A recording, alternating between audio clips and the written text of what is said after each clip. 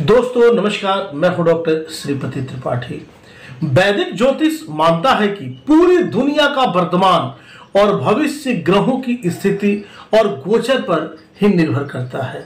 आपको बता दें यदि किसी जातक की जन्म कुंडली में ग्रहों का शुभ संयोग बन रहा हो तो, होता है तो कम मेहनत में भी वह बुलंदियों को छू लेता है। आसमान में उन्नति के साथ चला जाता है, जबकि अगर किसी जातक की जन्म कुंडली में ग्रहों की स्थिति नकारात्मक नतीजे देने का योग बना रहा हो तो उस जातक को लाख कोशिश करने के बावजूद भी उसे सफलता नहीं मिलती, उसकी उन्नति नहीं होती।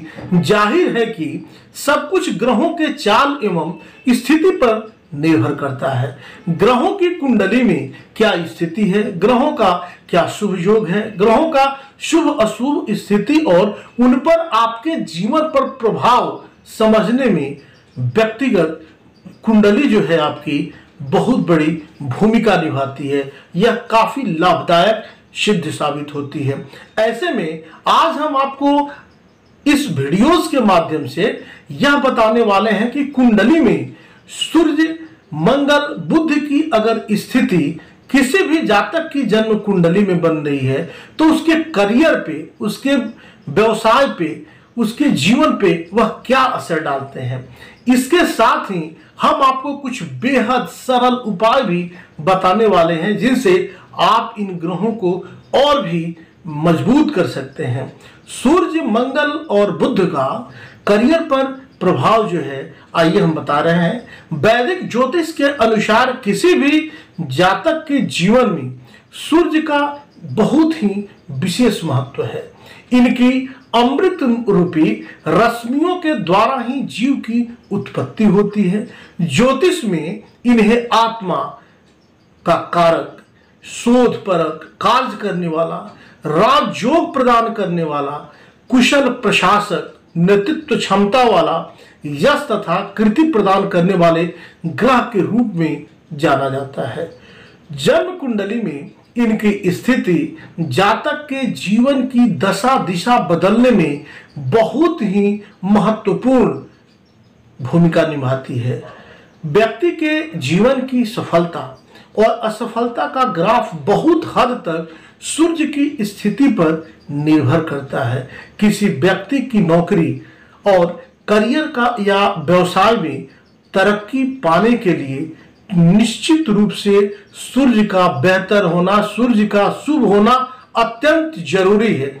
इसके बिना किसी भी व्यक्ति को सफलता मिल नहीं पाती है। सूर्य जगत पिता है। सूर्य की शक्ति से समस्त ग्रह चलायमान है। इसलिए जन्म कुंडली विश्लेषण के समय सूर्य किस भाव में है, इसकी गहनता से, सूक्ष्मता से विवेचना करनी चाहिए। तो चलिए, आज हम आपको बताते हैं कि आत्मशक्तिकारक ग्रह सूर्य के साथ बुध व मंगल ग्रह की युति व दृष्टिपात से किसी भी व्यक्ति का करियर किस मार्ग की ओर प्रशस्त होता है कि और किस मार्ग की ओर वह चमकता है। सूर्य, मंगल व बुध के प्रथम भाव में स्थित होने पर करियर जो है किसी भी जातक की जन्म कुंडली में सूर्य अगर प्रथम भाव में मंगल और बुध ग्रह के साथ युक्त हो तो ऐसे जातक के चेहरे पे एक विशेष तरह की आभा होती है। ऐसे जातक बलवान एवं समाज में अलग सी पहचान बनाते हैं, ऐसे जातक को सरकारी सर्विस मिलने की सर्वाधिक संभावना बनी रहती है।